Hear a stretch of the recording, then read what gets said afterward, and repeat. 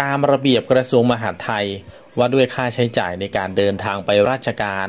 พุทธศักราช 2555 ข้อ 25 กำหนดว่า การใช้รถยนต์ส่วนตัวไปราชการของข้าราชการพนักงานส่วนท้องถิ่นเนี่ยกรณีจะใช้รถยนต์ส่วนตัวนะครับ จะต้องได้รับอนุญาตจากผู้บริหารท้องถิ่น ทีนี้แล้วถ้าผู้บริหารท้องถิ่นเนี่ยไปราชการเอง แล้วจะใช้รถยนต์ส่วนตัวของตนเองเนี่ยไปราชการ จะต้องไปขออนุญาตผู้ใด สวัสดีคุณผู้ชมทุกท่านนะครับสำหรับประเด็นสงสัยในกรณีนี้เนี่ย